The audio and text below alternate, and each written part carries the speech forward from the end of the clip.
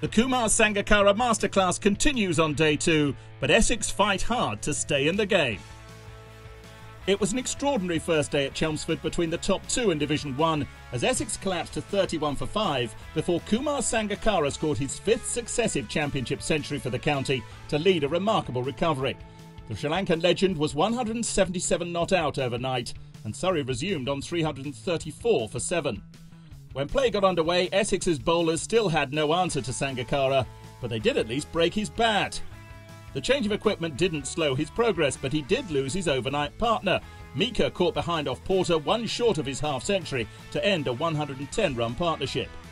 Now the mission for the tail was to stay with Sangakkara until he reached his double century. Virdi couldn't manage it, bowled by Porter for five, when his partner was 195 not out. But sure enough, he got to 200 off 319 balls with 27 fours. A truly majestic innings which began when his team were 9 for 2 and ended when he was the last man out, caught by Wagner off Harmer for exactly 200. His highest score for Surrey. The total 369 all out. A superb fight back, and their star man was well supported by Sam Curran and Meaker. Hard work for Essex in the end, Porter the pick of the bowlers with 4 for 89.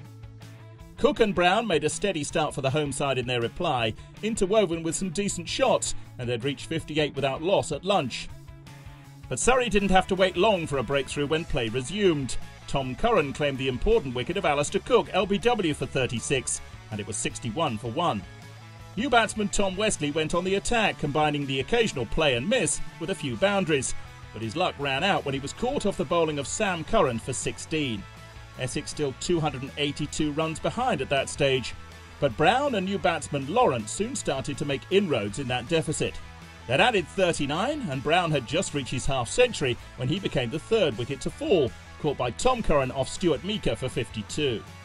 Tea arrived with Essex 127 for 3, still 242 runs behind. They'd found scoring difficult against a highly disciplined Surrey attack. After tea, the hosts produced a solid response of their own, thanks to Dan Lawrence and Ravi Bopara. The pair had to be patient and rode their luck at times, but Lawrence reached his 50 and Surrey's lead was at least below 200. By the close, it was down to 154 runs after an 89 run partnership for the fourth wicket. Essex 215 for 3 overnight, with Lawrence 78 not out and with seven wickets in hand, they'll hope to wipe out that deficit on day three.